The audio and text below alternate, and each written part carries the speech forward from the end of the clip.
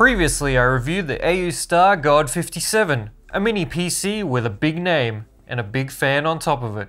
And it's something a lot of us wanted to see for a while now.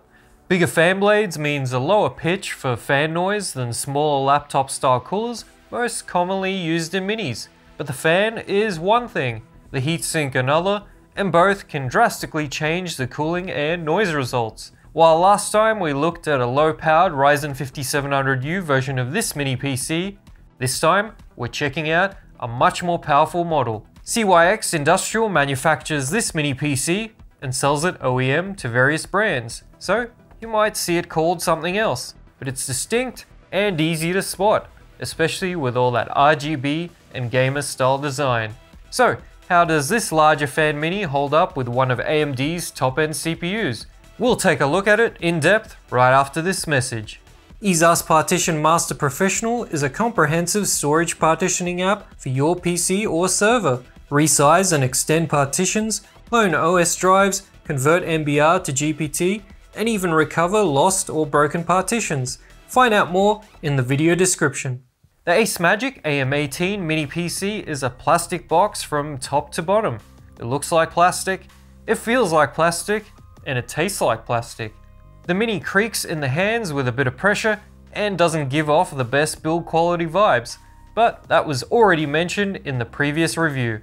If you like RGB lighting, you'll love the AM18. It has the most RGB at this size that I can remember, with a dedicated light button to cycle through various modes. And thankfully, my favorite mode, off, is included. And the Mini remembers it after shutting it down. Thank God.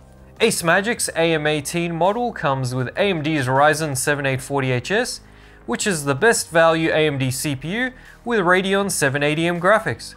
But the Mini is also available with the 8845HS, which adds an AI engine or NPU so AMD can pretend there's extra value there and slap on a new generation label. Either way, you're looking at 8 cores, 16 threads with the same CPU and graphics boost clocks. AceMagic's AM18 is currently 479 US dollars for the Ryzen 7840HS model with 32GB of DDR5 and a 512GB NVMe SSD on their website, or the 1TB storage model is 499 both on the website and Amazon.com. Included is a 100 watt USB-C power supply, HDMI cord, and monitor mount. So I already mentioned the lighting control button on the front. There are also two USB 3 10 gigabit ports and a USB 4. I was able to briefly power on the Mini with my USB-C monitor through the USB 4 port, but it shuts off after a couple of seconds, maybe since my monitor only provides 75 watts maximum. The back uses a USB-C port for power, and my monitor was again able to power it. But it doesn't provide display through the rear port, so it's not much better than a barrel jack. There's also a mix of Intel 2.5 gigabit and Realtek gigabit LAN, HDMI, DisplayPort, and dual USB 2.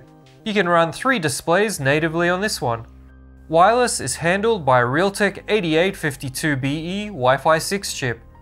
This is the part where I test the Bluetooth range, but unfortunately, Bluetooth isn't working at all on my review unit.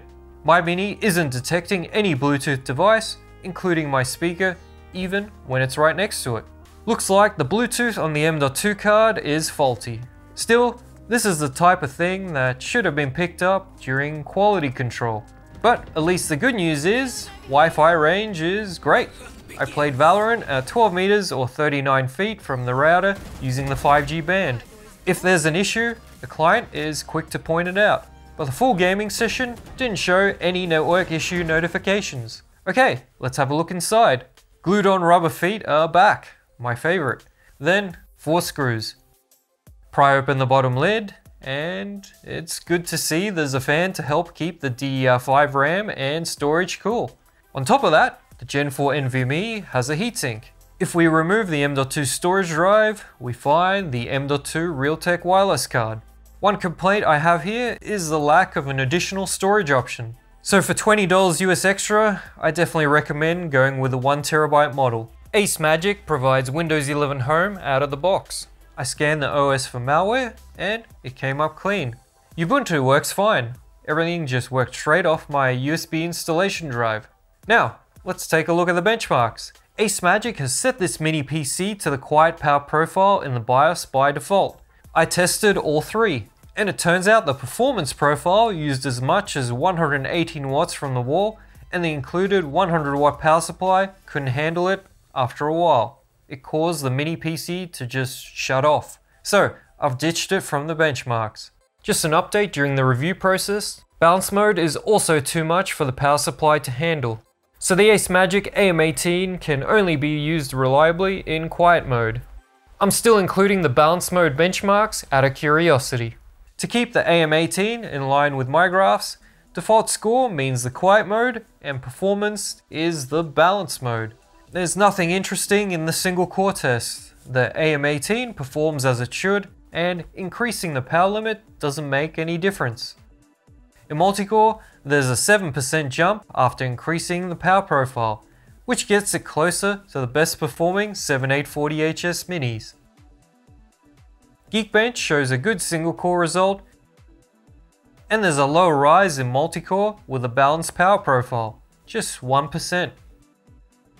H.264 video encoding shows a bigger improvement of a few percent, while AV1 software wasn't much faster.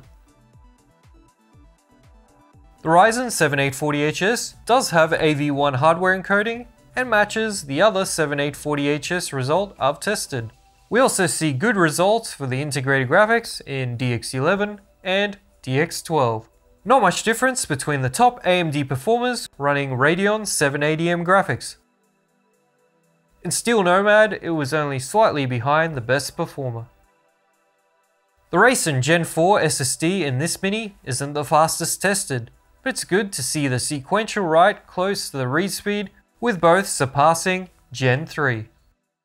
There's not a whole left to be said about AMD's Radeon 780M graphics. It was the fastest integrated graphics when released and allows you to play esports games with high frame rates up to 4K depending on the title.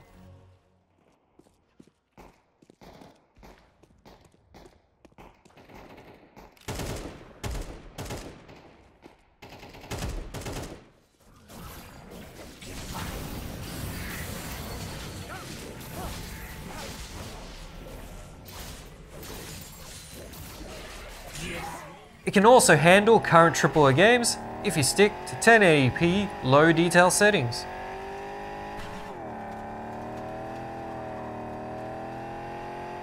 You might also have to enable FSR upscaling for some of the more demanding titles.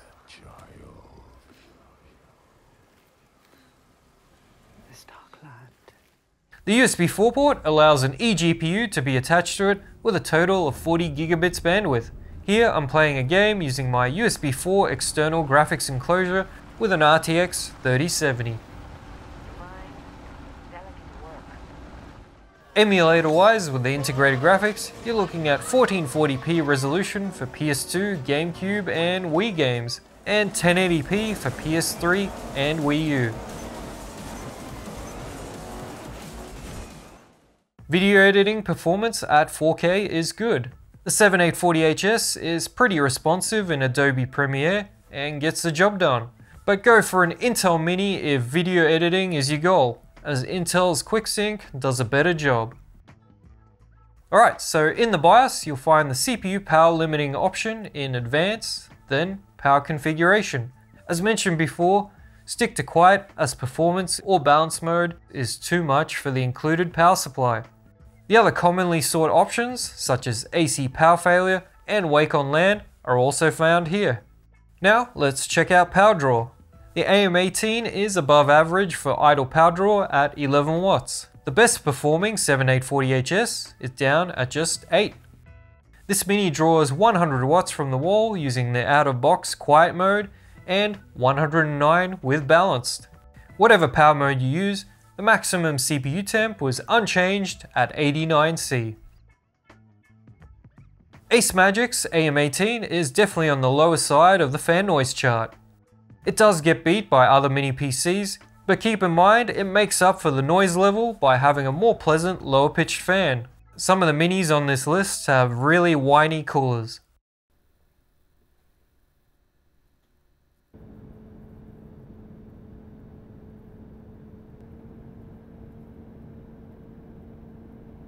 The heatsink on the NVMe drive plus the fan underneath helps keep the drive from thermal throttling and the same with the DDR5 memory. So let's finish this one up with the pros and cons. Ace Magic's AM18 brings back the large 90mm fan and it doesn't disappoint. While the decibels aren't the lowest we've seen, it's less annoying under load thanks to the bigger blades giving a less whiny pitch. If you're looking for a gamer aesthetic on your mini PC with RGB lighting, I guess you'll like this mini. Cooling is included for the RAM and NVMe drive and keeps both from thermal throttling. However, I think Ace Magic should have included a 120 watt power supply with a barrel jack and set balance mode as default. The USB-C power port doesn't do display, but limits the maximum wattage to 100. Plastic and build quality isn't the greatest. The lack of an extra storage option is also a glaring omission.